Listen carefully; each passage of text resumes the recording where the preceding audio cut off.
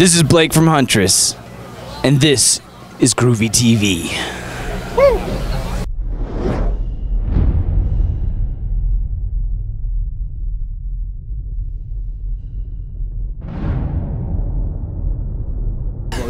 Hey, this is Groovey. I'm here with Blake from Huntress Rockstar Mayhem Festival Tour, Denver, Colorado. How the heck are you, sir? Awesome.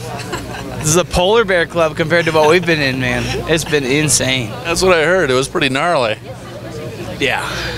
And our bus broke down, so we had to go back to vanning it, which was we fought real hard not to do. And then we're all driving all through the night, and then waking up and playing in 110 degree heat, just like forgetting how to play your instrument practically. Just like stay alive, stay alive. God, that is brutal as all hell.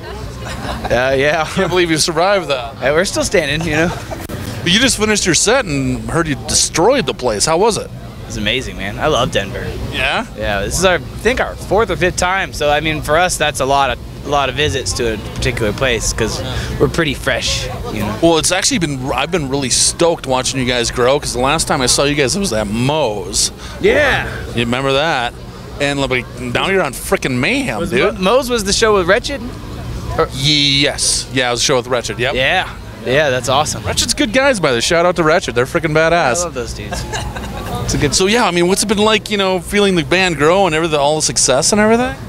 Uh, it's pretty surreal, man. Yeah? To be honest with you, like, you know, we've we've all been playing for a long time in different bands and fighting to make this happen, and and to see like the response be so positive to something that you're doing when you know we're we're not trying to do anything to try and please everybody. It's when people see your vision and and they're into it. It's it's just an unbelievable experience, you know. The new album's totally badass. I love it. Thanks, man. Yeah, totally. What was it like putting it together?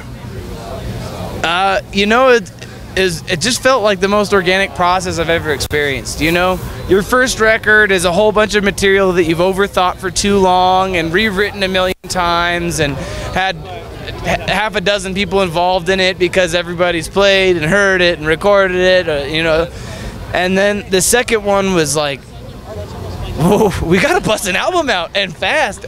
You don't go on Mayhem without an album, you know? And it was our first record with Ant Crocamo, who's the new guitar player, and he's just amazing, you know? And to work with Zeus, he's just, that, that's the baddest dude around, you know?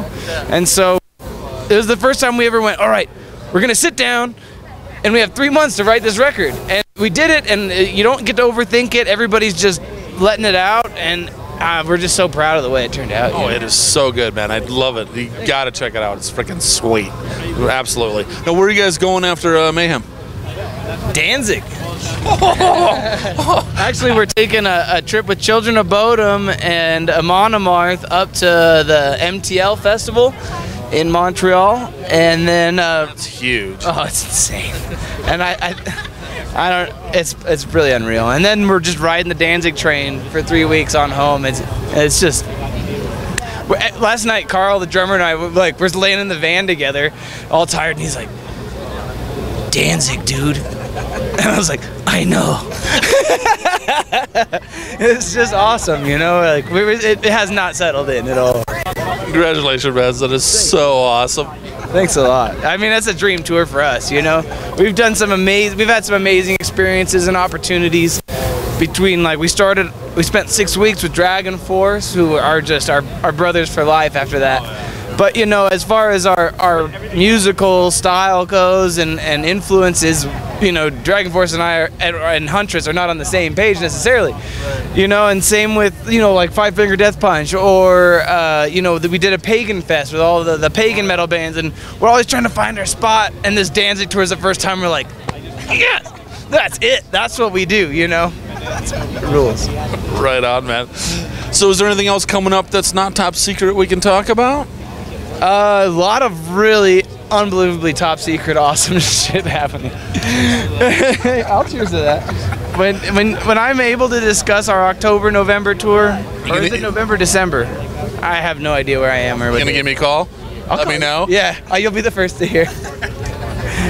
it's gonna be the tour of the fall. It's gonna be really insane. Right on. All right, man. Well, unfortunately, you've reached the part of the interview where I ask you a bunch of stupid questions. Are you ready? Bring it on. Okay. In your entire touring history, all over the world, what's the worst thing you've ever eaten that was meant to be food? Oh man, funny. Uh, the first time we ever went to Europe, we were like, all right, we're gonna just not know what the hell the menu says and just go for it. Uh, and it was like, whatever. We love food. And so we go to this. This is fresh off the, the plane in Dusseldorf, our very first trip to Europe of all time. I'm like, I'm in Germany. I've been dreaming about this 15 years. This is awesome. And we go to this restaurant, and the guy does not speak shit with the English. And uh, and, and all, we're broke as normal. So I'm like, listen, I'll take that cheap one on the menu. And then uh, he's like, all right, you got it. And he comes out with cold herring covered in this sour mayonnaise. And that was it. It was just a plate of white cold herring. And it was like, and me and Ian, the bass player, did it at the same time. We're like, yeah, cheap, cheap food. This is awesome. And and he's more adventurous. Eat brains and eyeballs. Bring it on. He doesn't care. And he he couldn't hang. And I, I mean, I'm, I'm a total pussy when it comes to that. So I had two bites and I was just like, "Whoa." and he couldn't even make it. So, yeah. that is gnarly as all hell, dude. Yeah, just make sure you understand what the hell the menu says, man.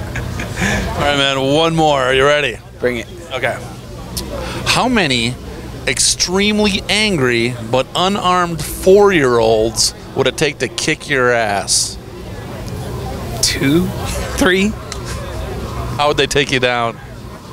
kicking me in the knees. I mean, that's how most people have to take me down. I'm like six and a half feet tall, so everybody's like, man, they're all intimidated by me, but it only takes two to three four year olds. they're pissed, man. You said it.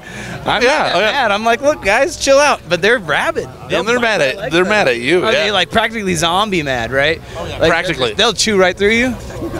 No, that's terrifying. I think it's kind of terrifying. Yeah, don't, don't, I'm not down with that. yeah. Sh- Yeah, how many Chucky? Chucky, one man took down how many? Well, like He's dozens. not even a four-year-old. He's two, and he's not even real. So, yeah. Should we do one more? Okay. Scared? Okay. You want some math question? You want time machine? Okay. If you had a time machine, what would you do with it? Ow. Ah. I would.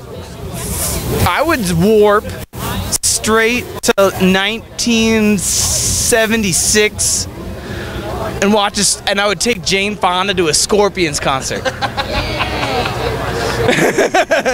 that would be awesome. That would be a date. Totally wins. Right on. Cheers. Hey, this is Blake from Huntress, and this is Groovey. Mayhem Festival, Denver, Colorado.